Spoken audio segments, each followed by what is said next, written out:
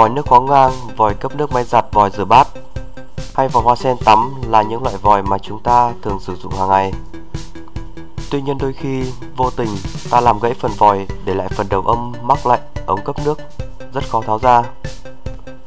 Giải pháp đơn giản và tiết kiệm mà bạn có thể tự tháo ống nước gãy là sử dụng mũi tháo ống nước gãy phi 21 phi 7 giúp bạn nhanh chóng tháo ống nước gãy trong bộ dụng cụ tháo đầu ống gãy.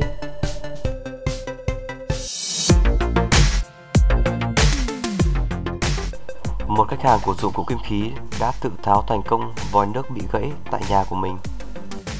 Mũi tháo đầu ống nước gãy là một chóp nón cụt được tạo gen ngược với gen trong của các đầu cấp nước. Đầu mũi tháo ống nước gãy được làm bằng thép cứng có khả năng ăn vào các vật liệu của đầu ống gãy như nhựa PVC, đồng vàng, kẽm. Khi quay gen ngược chiều với kim đồng hồ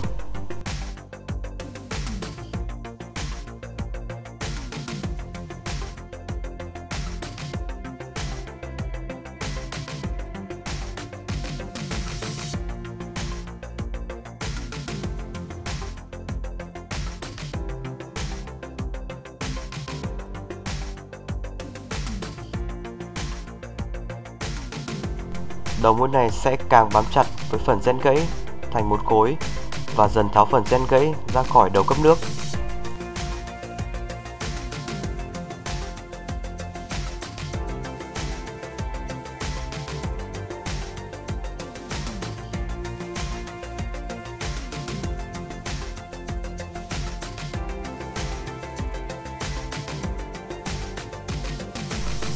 Chỉ trong vài thao tác, đầu âm của ống nước đã được khách hàng của dụng cụ kim khí tháo ra nhanh chóng để thay thế vòi nước mới.